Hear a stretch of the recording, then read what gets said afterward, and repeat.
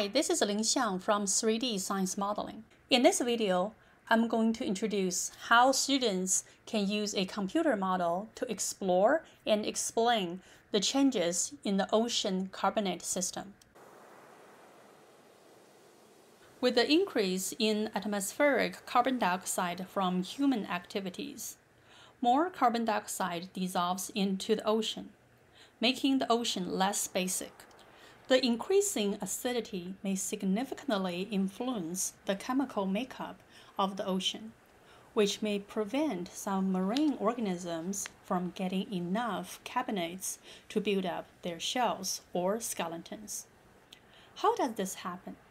If more carbon dioxide enters the ocean, shouldn't more carbonates be produced?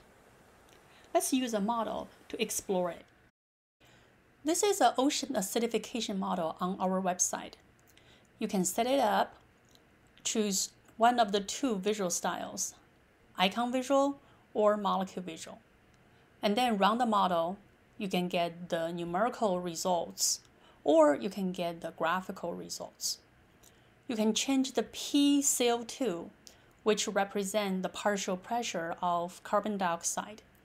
You can choose to display or hide some particles from the model to help you focus the observations. You can also run the model in a more controlled manner.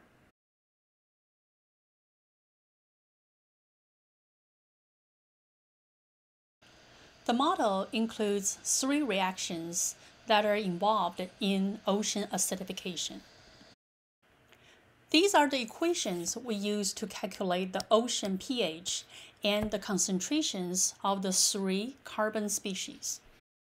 The relevant parameters and values were adopted from the current oceanography studies. Now I introduce three activities in which students use the model to explore and explain ocean acidification. First, use a computer model to describe the changes in ocean pH and the concentration of three carbon species. Set up the model. You always start with 250 ppm carbon dioxide.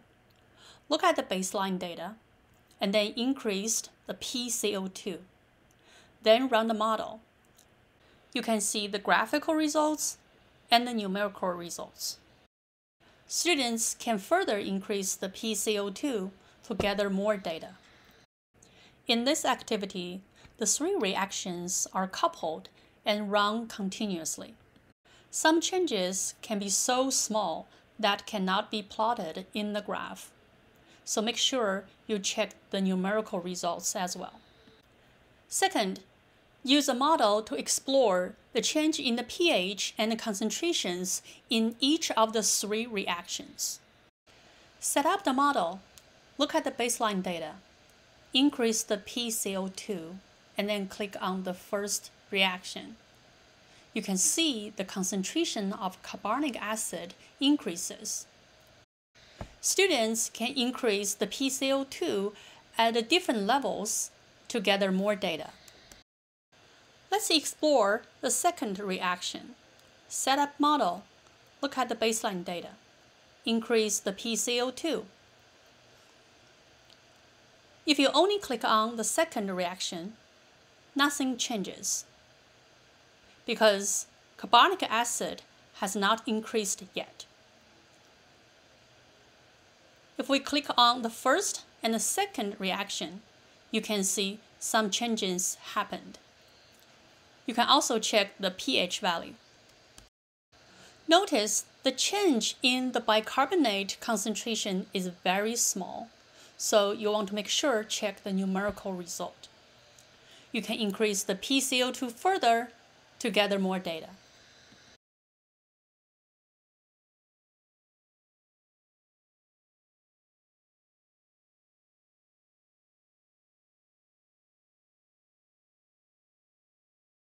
Let's explore the third reaction.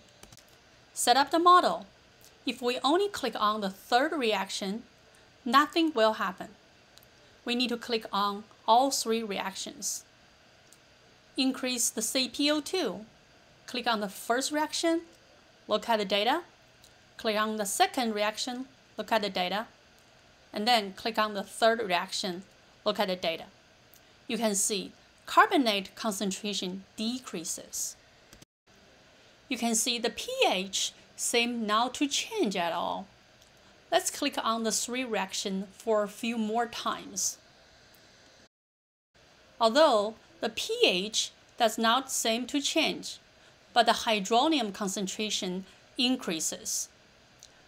Let's try a few more times. You can also use the round 3 coupled reaction once to speed up.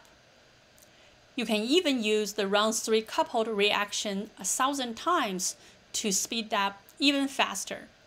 Then you can see more significant change in the hydronium concentration and the pH.